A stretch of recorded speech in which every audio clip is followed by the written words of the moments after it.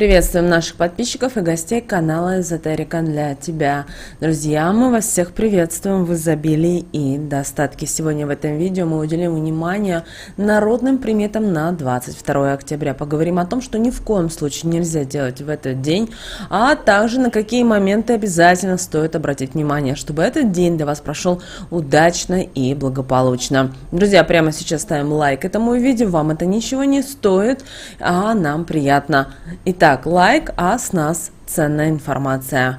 Итак, друзья, сегодня 22 октября и будет очень мощная энергетика. Если мы рассматриваем народный календарь, то 22 октября отмечается Яков Дровопилец, или по-другому называли его Яков Студеный, или День первой каши.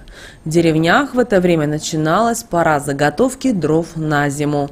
И раньше Якова, или по-другому Иакова, Русские люди к этому занятию не приступали. Во-первых, летом всегда хватало и других забот, а во-вторых, считалось, что осенняя полена горит жарче всего, поскольку из него все ушли э, соки. И вы знаете, сегодняшний день, 22 октября, когда человек может спровоцировать появление в своей жизни несчастья и крупных конфликтов. Э, и сегодня дата, зеркальная дата, 22 октября 2022 года. И у, у дня четырех двоек очень мощная энергетика. Это еще и время праздника богини Макаш, женской магии и силы. Для мужчин, которые обидели женщин в этот день, в скором времени все может сложиться очень плохо. Поэтому очень важно быстро попросить прощения и помириться, чтобы избежать больших проблем. Вообще в эту зеркальную дату, 22 октября 2022 года, крайне опасно ссориться. Даже мелкая размолка может перерасти в какой-то крупный и затяжной конфликт. В этот день нельзя позволять темным сторонам своего характера взять верх. Так можно лишь приумножить зло. А вот православная церковь 22 октября празднует память одного из 12 апостолов Иакова Алфеева, брата евангелиста и апостола Матфея. Приняв с другими апостолами нисходящего Духа Святого, Иаков ушел наставлять заблудших во спасении и проповедовать Слово Божие – Сначала нес апостольское служение в Иудее, затем с апостолом Андреем в Месопотамии проповедовал учение Христова в таких странах, как Сирия, Египет и Южная Палестина. Святой Иаков много сделал на ниве спасения человечества и многих язычников обратил в христианскую веру. Он закончил свою земную жизнь на путях Христовых, был распят на кресте. А вот хозяйки старались обязательно в этот день сварить кашу и угостить ей всех членов семьи. Верили, что это защитит от множества бед и несчастий. Отправляясь в гости в этот день, старались обязательно взять с собой гостиниц. Считалось, что иначе человек может оказаться в нищете. 22 октября по народным приметам нужно обязательно было испечь из муки нового урожая блины. Они символизируют солнце и являются оберегом от нечистой силы. И если раздать по блину своим соседям, зимой вас ждет достаток и много радости. Как и в любой другой православный праздник, сегодня нельзя нецензурно выражаться. Бранные слова принесут в вашу жизнь негатив. Если отправляетесь 22 октября на заготовку дров, обязательно возьмите с собой хлопковый платочек. Он убережет вас от дурного глаза. Также с 22 октября наши предки начинали молодьбу пшеницы, обдирание просой и овса. После работы женщины готовили каши нового урожая. Это могла быть и пшеничная, и ячневая, и овсяная, заправляя обязательно салом или маслом.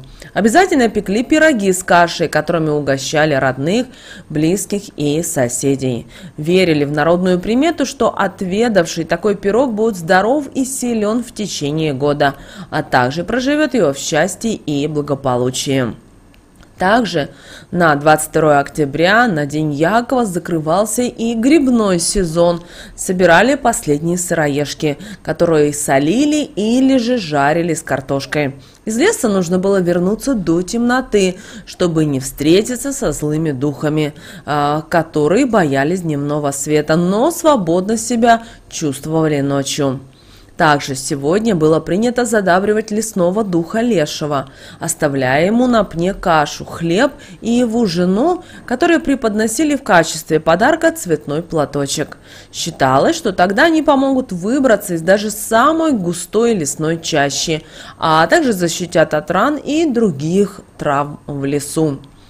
Э, девушки 22 октября на собранные сыроежки наговаривали приворотные заговоры и угощали этими грибами понравившегося парня. Если же он отказывался принимать угощение, то девушка это блюдо закапывала под сухим деревом, опасаясь, что кто-либо другой может съесть и влюбиться в нее. Конечно же, в день Якова Студенова проводили различные обряды, ритуалы, читали магические слова от женских болезней и для красоты. Также в этот день были определенные запреты, которые наши предки старались соблюдать. Главное, что нельзя делать было 22 октября, в день Якова Студенова, это тратить свои силы понапрасну, поскольку народные приметы предупреждают, что вместе с ними надолго уйдет и здоровье. В день Якова Студенова рекомендуется планировать все свои действия заранее, и даже если все задуманное получится, закончить раньше времени не надо браться за что-то новое. Также 22 октября не стоит завязывать новый роман, так как он принесет только разочарование. Нельзя 22 октября есть картофель, каши, кроме крупяной. Ее э, нужно приготовить таким образом, чтобы плавала в масле. Ведь чем она вкуснее и сытнее, тем благоприятнее, значит, будет год. Наши предки верили в одну народную примету, что такая еда сулит стабильный заработок и отсутствие каких-либо финансовых проблем. Не рекомендуется в день Якова Студенова заходить в чужой дом с пустыми руками, даже если вы и зашли ненадолго. 22 октября надо в обязательном порядке хозяевам преподнести какой-то подарок. Это могут быть и сладости, и фрукты, сдоба. Э, можно деток чем-то угостить вкусненьким. Тогда по народной примете семья будет жить в добре и в здравии, а принесший презент очень скоро наладит свое материальное положение.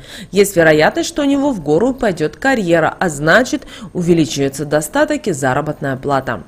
Также, друзья, в этот день, 22 октября, ни в коем случае нельзя шить и зашивать. По народным приметам, тот, кто возьмет в этот день иглу, до конца э, года будет что-то шить, да подшивать. Все будет рваться и, к сожалению, приходить в негодность. Не рекомендуется тратить силы понапрасну, брать на себя работы больше обычного ту же подработку, иначе уйдут и силы, и здоровье.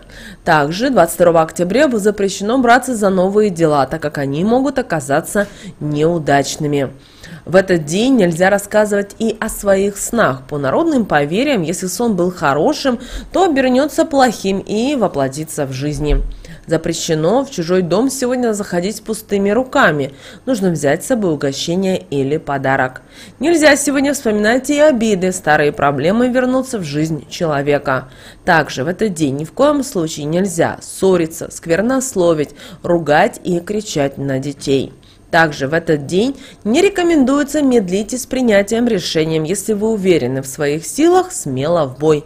И пусть вас не смущает отсутствие опыта. Знаете, он придет в процессе. Ни в коем случае нельзя сегодня игнорировать интуицию, она поможет вам избежать досадных ошибок и выровнять курс. Если не послушаетесь голоса шестого чувства, можете окончательно сбиться с пути. Не стоит в этот день делиться своими секретами и мечтами. Если вас услышат в этот день темные силы, то и планам, и намерениям не суждено будет сбыться.